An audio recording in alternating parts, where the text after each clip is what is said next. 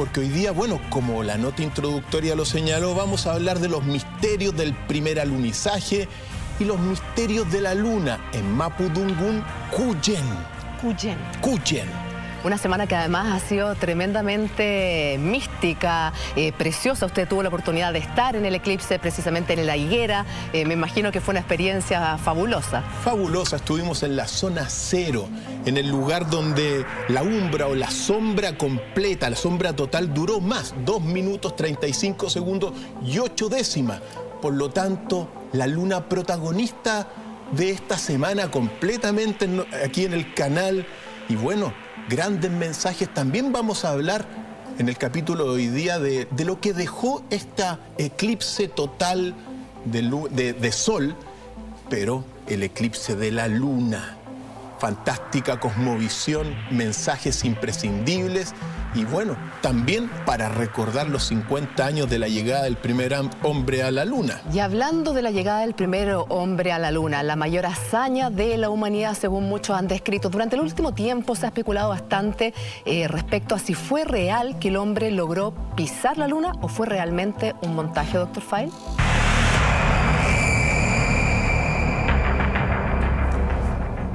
Amigos y amigas, hay una creencia de que el hombre no llegó a la luna y de que todo fue un montaje de la NASA.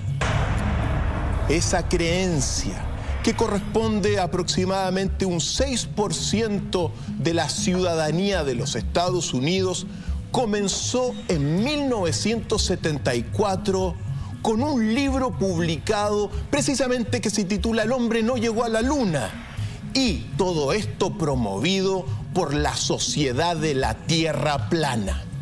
Querida Julita, cuando uno se encuentra frente a esta, bueno, a esta pregunta del millón, uno tiene que ser sumamente claro respecto de que en realidad el último tiempo ha surgido mucha información de que el hombre no llegó a la luna, se han publicado imágenes recién esta semana Wikileaks también desempolvó unos videos de unas grabaciones donde se muestra, claro, prácticamente un montaje de todo lo que fue el alunizaje y uno tiene que recordar, como te decía, que todo esto comenzó en 1974 con la publicación de un libro de Bill Casing que se llamaba Nunca fuimos a la luna.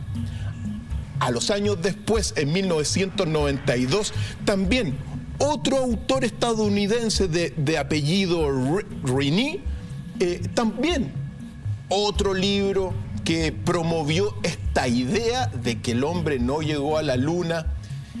Todo esto al mismo tiempo confabulado de alguna forma con la sociedad de la Tierra plana, porque cuando, claro, el hombre llega a la luna, comprueba de que la, Tierra es redonda Pensemos que la misión Apolo 8 fue la primera que sacó una foto de la Tierra redonda.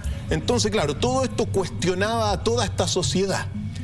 Y por cierto, también en, el año 2002 se publicó un documental de la televisión francesa, de franceses en realidad, que se llamaba Operación Luna y que mostraba unas imágenes filmadas por Stanley Kubrick, ese gran gran director de cine de todos los tiempos, donde estaba replicando de alguna forma el alunizaje.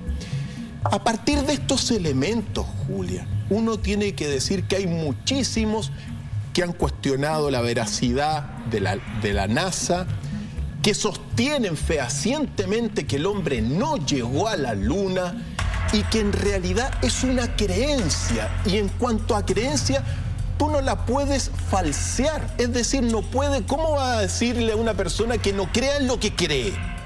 Sin embargo, hoy día, con toda esta revolución de las comunicaciones, muchísimas personas lo sostienen. Y es más, seguramente más de algún amigo y amiga en casa, cuando uno dice, no, si en realidad llegó a la luna, van a decir que el doctor se alió con el nuevo orden mundial y que todo es falso y de que ya no creen más en uno. Que eres parte de la conspiración. Claro. E incluso hablar de conspiración respecto de la luna es hablar peyorativamente de la conspiración, porque en realidad la conspiración es real. Pero En este caso, Julita, es una creencia formada a partir de estos films de ciencia ficción. También en 1978 se hubo una película que se, llama, que se llamó Capricorn One, que por cierto eh, mostraba cómo Estados Unidos, era una película de ciencia ficción, pero que mostraba cómo Estados Unidos falseaba y grababa un amarizaje, es decir, haber llegado a Marte. Pues tomando todos estos elementos, uno puede decir que hoy día hay, existe esta creencia. Y como creencia uno no puede falsearla o no puede hacer que la gente crea en otra cosa. Sin embargo, está presente.